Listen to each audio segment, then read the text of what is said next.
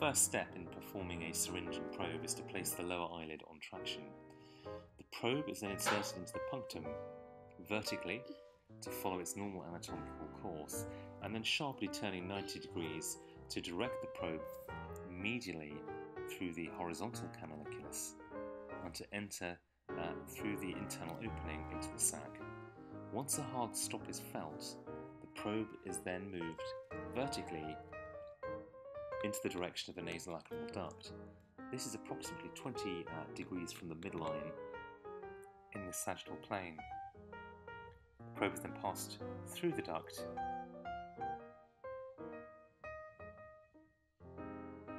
until the probe reaches uh, the floor of the nasal space. An endonasal view can confirm the visualization of the probe in the inferior meatus as the nasolacrimal duct opens in this area. Fluorescein is then injected uh, through the lacrimal canaliculus, and it is important uh, to either visualize the fluorescein clearance uh, or to ensure that it is obtained with a cotton wool bud.